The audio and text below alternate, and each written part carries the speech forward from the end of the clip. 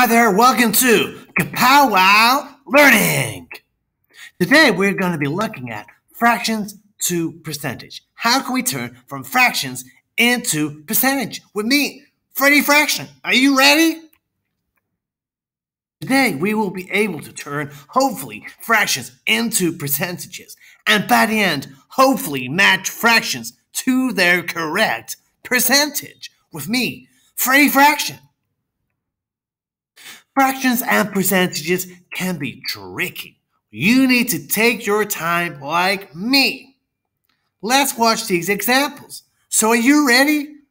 Are you ready for Freddy's fractions? Let's do this. It's awesome. Here we have one quarter. How can we turn this fraction into a percentage? Hmm. Well, we need to turn this fraction into a percentage, and this is how we do it. Let's do this.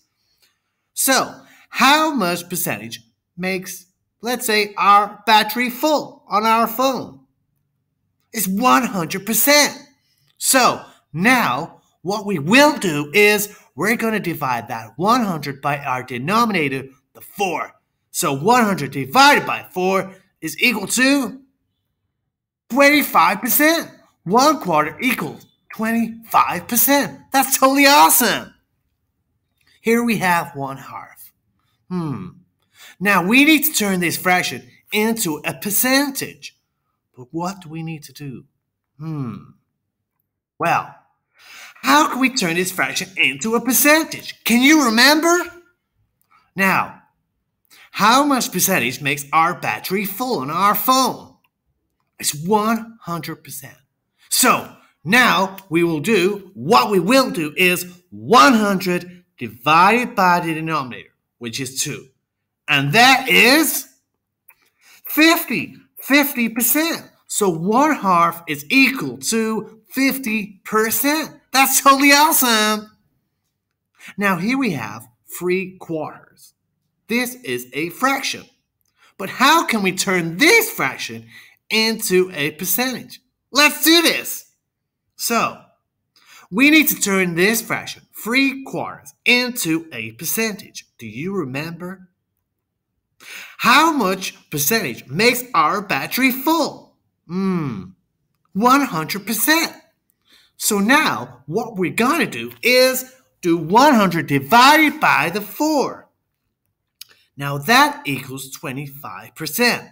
But we have a 3 in the numerator because 1 quarter equals 25 5%, but we're after 3 quarters. So we're going to multiply the 3.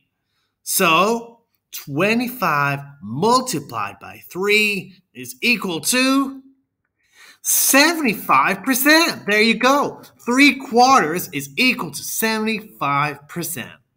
That's totally awesome.